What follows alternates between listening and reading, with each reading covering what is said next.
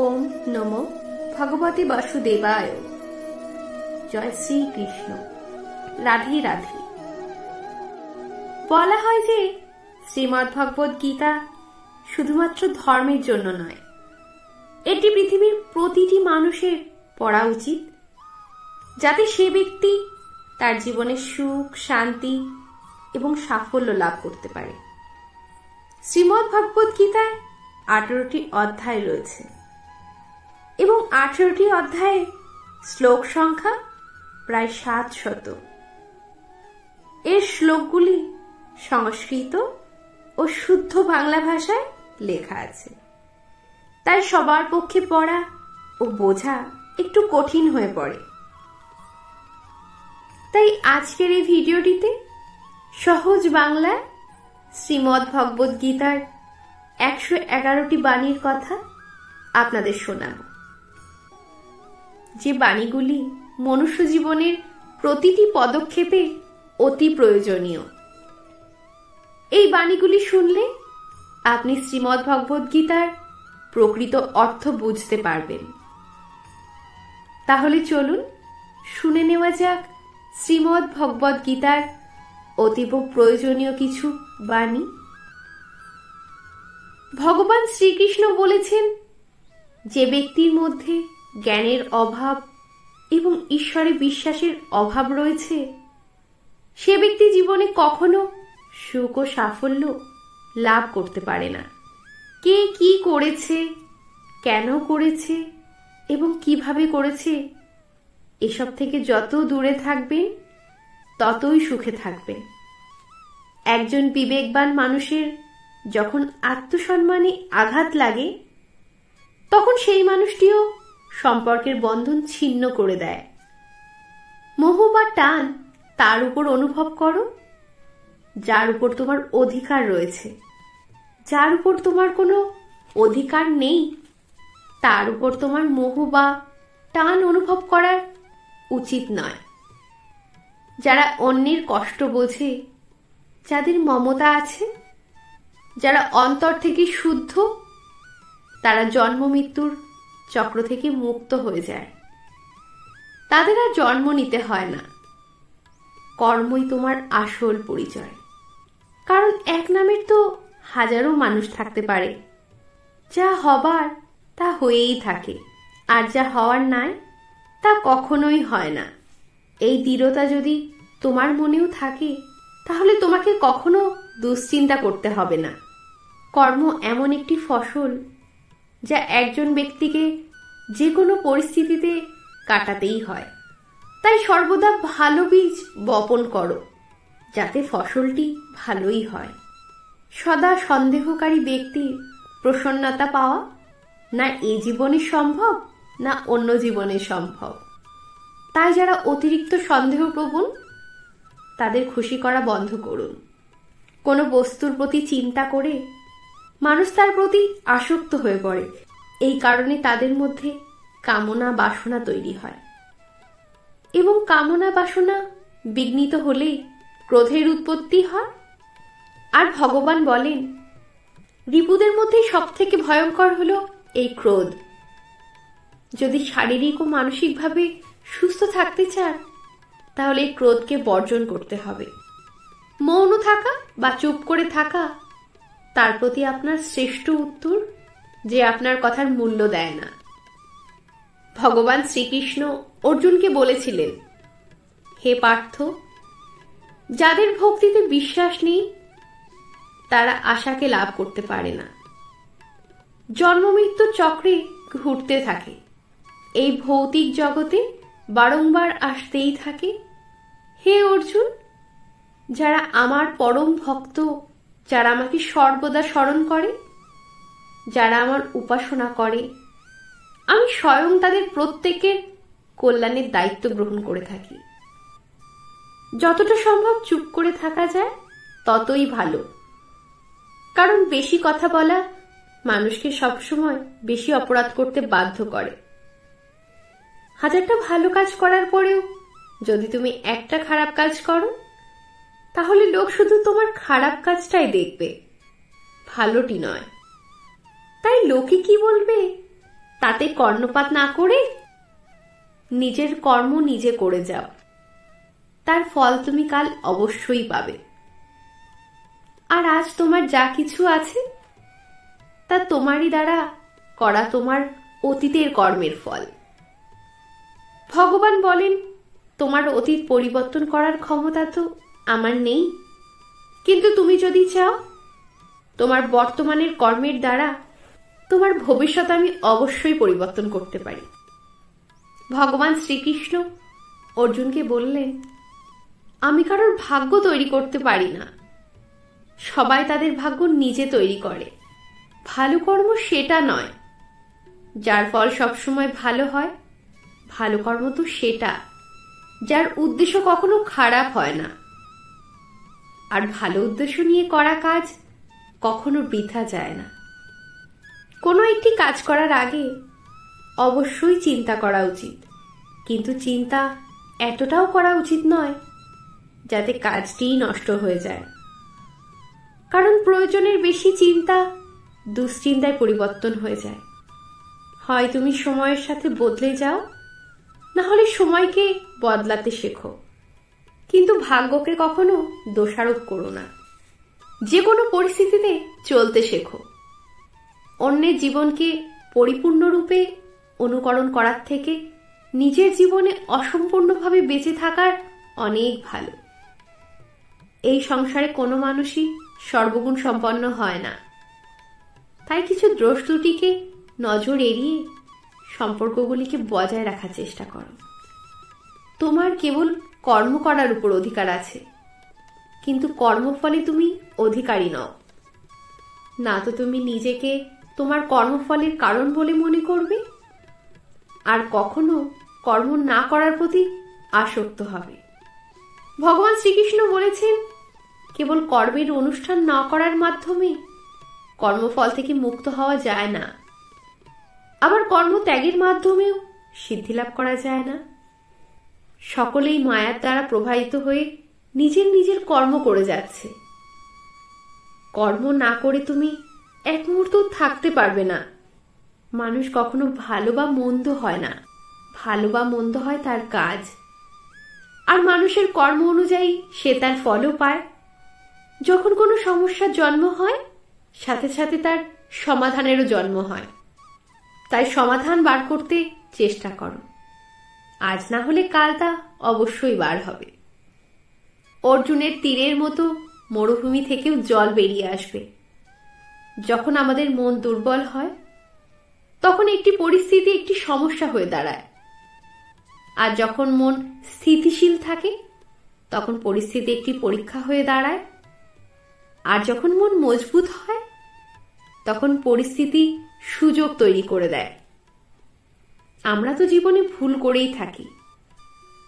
তো জীবনের সব থেকে বড় ভুল হলো সেটা, যেটা থেকে আমরা কিছু শিখতে পারি।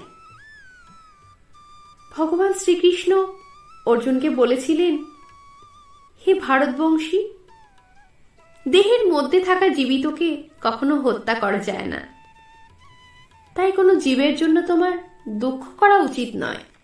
মানুষের মানবতা ঠিক সেই সময় নষ্ট হয়ে যায় যখন সে অন্যের দুঃখে আনন্দ পেতে শুরু করে। সময় আমাদের শেখায়, না তো জীবন আমাদের কারোর জন্য সারা জীবন অপেক্ষা করবে? না তো কেউ তোমার জন্য সারা জীবন অপেক্ষা করবে?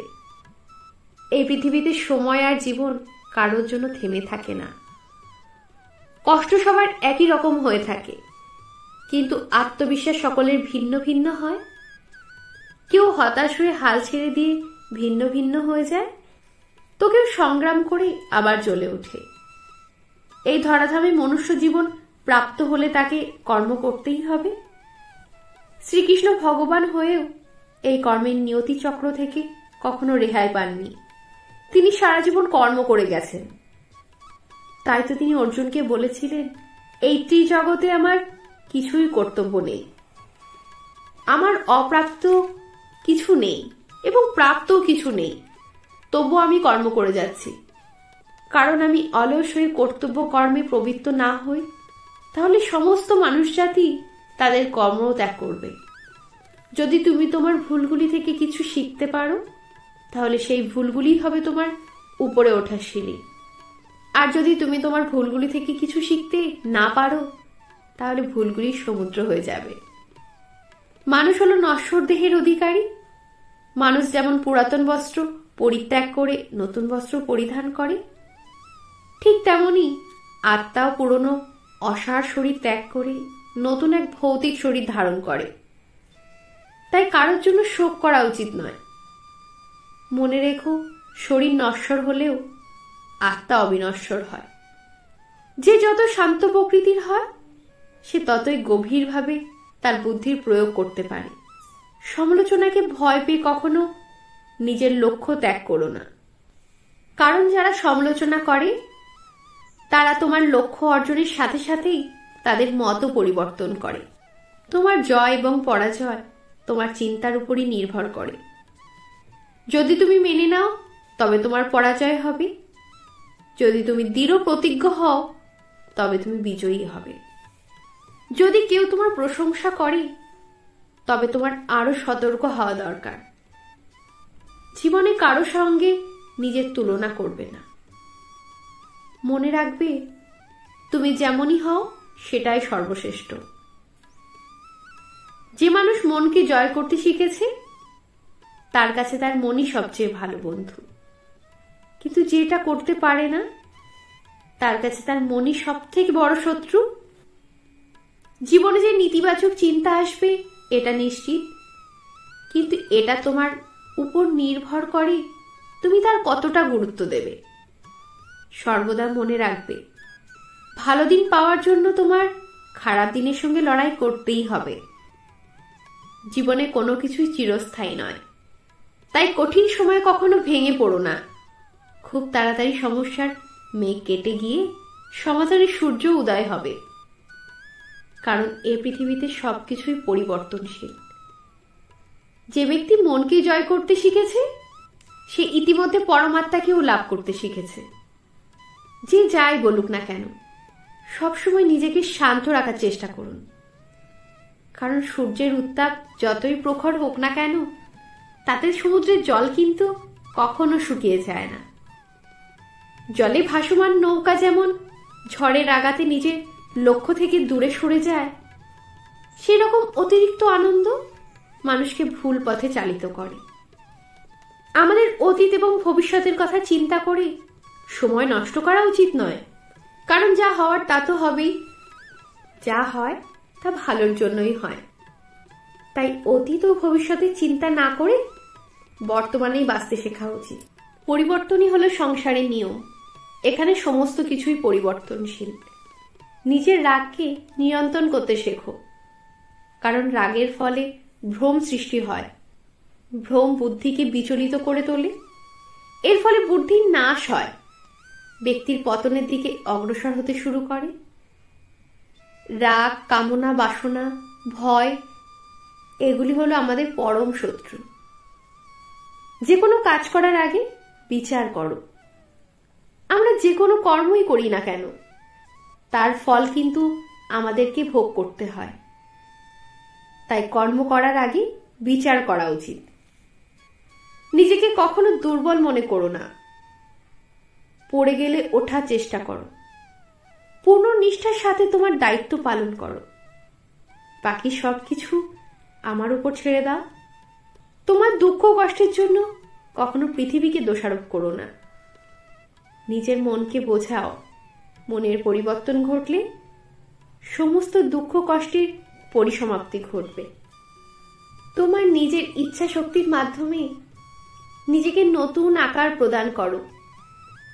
কখনো নিজের ইচ্ছার দ্বারা নিজেকে অপমানিত করো না। মনে রাখবে, ইচ্ছা তোমার পরম বন্ধু হতে পারে, আবার পরম শত্রুও হতে পারে। ধৈর্য ধরো। জীবনের সব থেকে ভালো দিন দেখার জন্য তোমাকে সব থেকে খারাপ দিনের মধ্যে দিয়েই তো যেতে হবে। কান্না থামাও। নিজেই নিজের সমস্যার সাথে লড়াই করতে শেখো। কারণ যারা সঙ্গ দেয়, তারাও শ্মশান পর্যন্তই তোমার সঙ্গ দিতে পারে। কিন্তু তার পরে নয়। যখন তোমার পরিবারের সদস্যদের অপ্রীতিকর মনে হয় এবং অপরিচিতদের নিজের লোক বলে মনে হয়, তখন বুঝে নেবে তোমার ধ্বংসের সময় শুরু হয়ে গিয়েছে। তুমি কি লক্ষ্য করেছ রেগে গিয়ে চিৎকার করতে বেশি শক্তির প্রয়োজন হয় না। কিন্তু রেগে গিয়ে চুপ করে থাকতে অনেক বেশি শক্তির প্রয়োজন হয়। যদি কেউ আমাকে প্রশ্ন করে, পরিশ্রম ছাড়া সফল হওয়ার উপায় কি? তাহলে আমি তাকে বলব, যেখানে পরিশ্রম নেই, সেখানে সফল হওয়ার স্বপ্ন দেখায় বৃথা। মনে রেখো, একজন সফল ব্যক্তিকে জীবনসঙ্গী করার মধ্যে কোনো সফলতা নেই। বরং একজন পরিশ্রমী মানুষের মনোবল বাড়িয়ে তার সাফল্যের সঙ্গী হওয়া প্রকৃত সফলতা। অন্যের জীবনে নিজের স্থান খোঁজা বন্ধ করে দাও। বিশ্বাস করো, এতে তোমার জীবন অনেক শান্তিপূর্ণ হবে। সময় খুবই শক্তিশালী হয়। তা যে কোনো জিনিসকে বদলে দিতে পারে। সেটা ব্যক্তি হোক বা সম্পর্ক।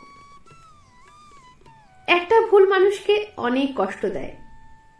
কিন্তু এরকম কিছু কিছু ভুল থাকে যা মানুষকে হাজারটা ভুল করার হাত থেকে রক্ষা করে। যে আঘাত থেকে রক্ত বের হয় না, বুঝে নিও সে আঘাত কোনো আপনজনই করেছে। বিজয়ের আনন্দ তো তখনই পাওয়া যায় যখন সবাই তোমার হারের প্রতীক্ষায় থাকে। যদি প্রয়োজনের থেকে অতিরিক্ত কিছু পেয়ে যায়, তা শুধু ক্ষতিই করে। সেটা প্রেম হোক বা অহংকার। হে অর্জুন, যে ব্যক্তি পূর্ণ বিশ্বাসের সাথে কোনো দেবতার পুজো করতে চায়, আমি সেই দেবতার প্রতি তার বিশ্বাস দৃঢ় করে দিই। তুমি ফিরে যেতে পারবে না, আবার শুরুকে পরিবর্তনও করতে পারবে না। কিন্তু তুমি যেখানে আছো, সেখান থেকে শুরু করতে পারবে। আর এভাবেই নিজের ভবিষ্যৎকেও পরিবর্তন করতেও পারবে। পরিশেষে একটা কথাই বলব। যখন বিশ্বাস ভঙ্গ হতে শুরু করবে, যখন জীবনে কোনো পথ দেখতে পাবে না, তখন শ্রীমৎ ভগবত গীতার আশ্রয় নেবে। শ্রীমৎ ভগবত গীতাই হল আসল দর্শন, যেখানে সব প্রশ্নের উত্তর পাওয়া যায়। তাহলে আজকের ভিডিওটি এখানেই শেষ করলাম। যদি এই ভিডিওটি আপনাদের ভালো লেগে থাকে, তাহলে দয়া করে ভিডিওটিতে একটি লাইক করে দিতে ভুলবেন না।